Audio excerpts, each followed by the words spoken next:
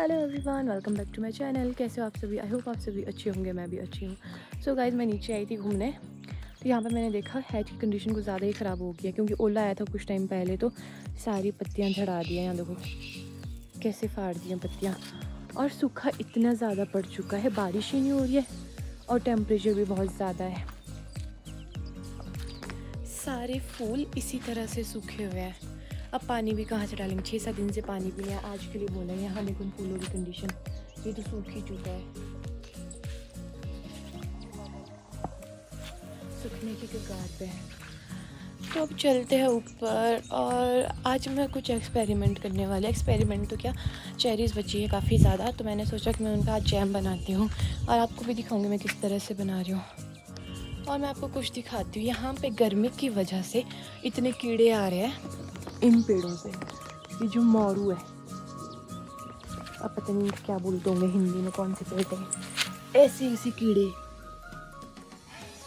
और यहाँ पर मेरे पास इतनी सारी चेरीज है, पर मैं इनसे छांट छांट के बनाऊँगी जो अच्छी अच्छी चेरीज होगी, क्योंकि बाकी तो ख़राब होने लगे जैसे यहाँ देखो ये वाली।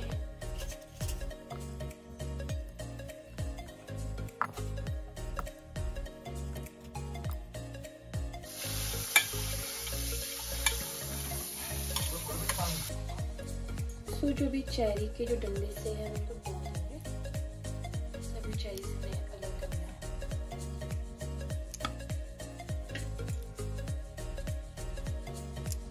तो यहाँ पे जो है, मैंने सारे डंडे निकाल दिए इसके, जो डंठल होते हैं। अब इसके बाद जो इसके अंदर की सीड्स है, वो निकालनी है। तो मैं छुरी की हेल्प से करूँगी।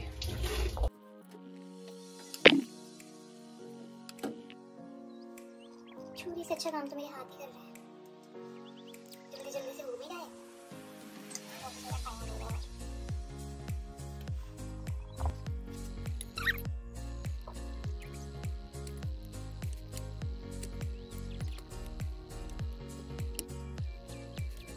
और यहाँ पे जो है मैंने चेरी के सारे बीज निकाल दिए हैं।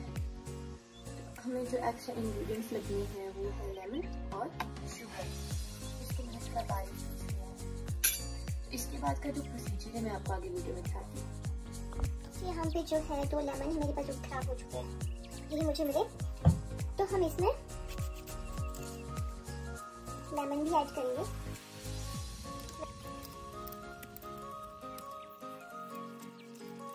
तो यहाँ पे जो है, नींबू की जो बाहर का छिलका है, वो भी मैं इसमें ऐड करूँगी।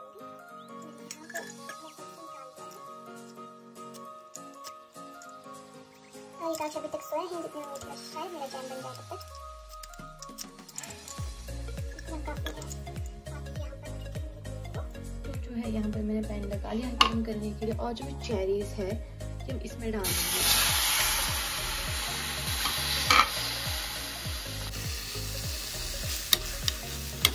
थोड़ा सा पानी दूँगी ताकि अच्छे से पक भी जाए और जो है इतना गल भी जाए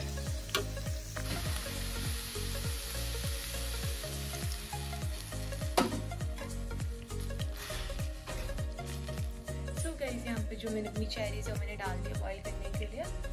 अब इसे मैं 10-15 मिनट रहने देती हूँ बॉईल होने के लिए। बस तब तक विकास ना उठो, मैं फटाफट से बना देती हूँ। और आज विकास लेट हो गया, नहीं तो हमेशा साढ़े आठ में उठ जाता है।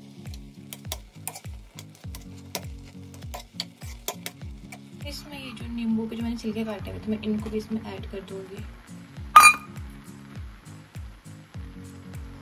ताकि साथों साथ फिर मिक्स हो जाए, पक जाए। बस पाँच मिनट और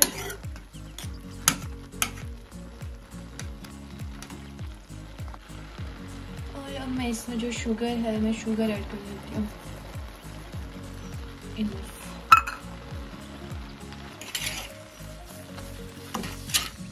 इसमें जो नींबू है वो ऐड कर देंगे जो हमारी चेरीज है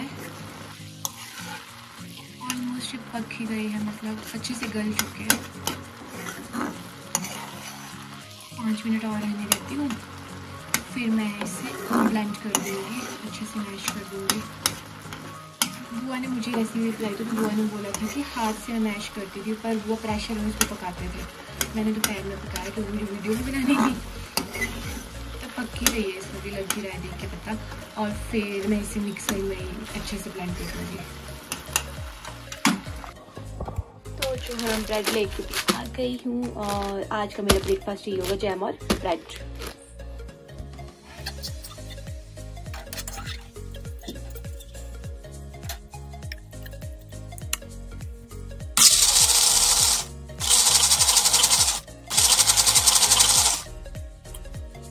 तो यहाँ पे जो है मेरा जैम बिल्कुल तैयार हो गया है और मेरे पास कोई एयर टाइट जो कंटेनर है वो नहीं था तो जो मिक्सी ग्राइंडर के साथ एक एक्स्ट्रा मिला हुआ था जार तो मैंने सोचा मैं उसी में ही इसको डाल देती हूँ। थे तो वैसे काफ़ी ज़्यादा डब्बे, पर सारे बड़े बड़े थे तो मैं कहा बड़े में क्या डालना, उतना तो जैम भी नहीं बना था फिर मैंने सारा जैम इसी में ही डाल दिया। तो ये रहा अपना जैम तो मैं इसे ना भी फ्रिज में रख लेती हूँ, क्योंकि मुझे खाने का टाइम नहीं लगेगा। एक आग उठ गया तो पहले मैं उससे दे देती हूँ, फिर उसके बाद देखते हैं।